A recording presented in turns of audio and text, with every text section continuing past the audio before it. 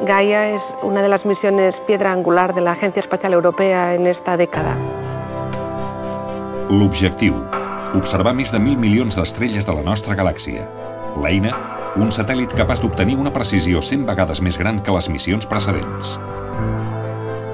Lo que va a hacer Gaia es que por primera vez nos va a permitir ponernos las gafas de 3D y vamos a poder ver una gran cantidad de estrellas realmente en tres dimensiones. Per això disposa de dos telescopis de 6 miralls i un pla focal de quasi 1.000 milions de píxels que fan de Gaia la càmera a l'espai més gran que s'ha construït mai. Lo que está midiendo Gaia es el tamaño de algo así como la pupila del ojo de un hombre que estuviera en la Luna visto desde la Tierra.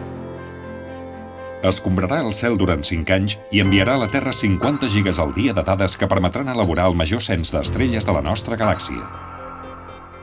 Gaia proporcionará un catálogo astrométrico, es decir, un catálogo de posiciones, distancias y movimientos de las estrellas.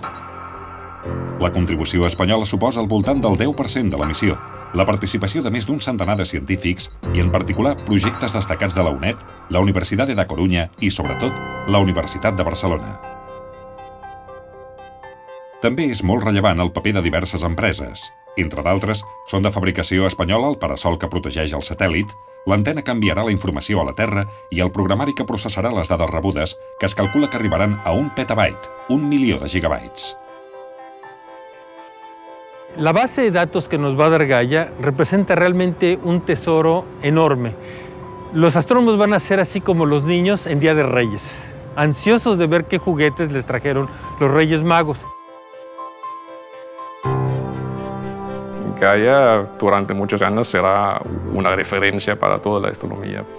Els vídeos següents expliquen amb més detalls el funcionament del satèl·lit, la participació científica i industrial espanyola i la revolució que les observacions de Gaia suposaran per a l'astronomia.